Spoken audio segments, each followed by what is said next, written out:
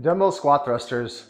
So this is a full body exercise working the hamstrings, glutes, quads, arms, shoulders, delts, and core. Starting with the feet shoulder width apart and dumbbells on the shoulders, squat down until your thighs are parallel to the floor. Standing up and extending your arms overhead. Make sure the hips are back and weights on the heel when going down into the squat position.